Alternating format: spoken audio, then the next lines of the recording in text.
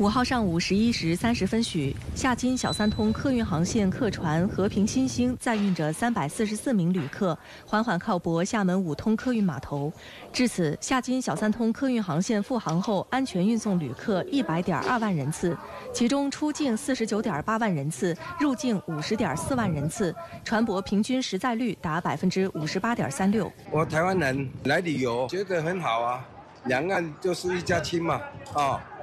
啊，多多交流嘛，啊，那个多多旅游嘛，啊，造造福两岸人民嘛，都是一家人嘛，真的服务很好，哎，对我们台胞真的很照顾了，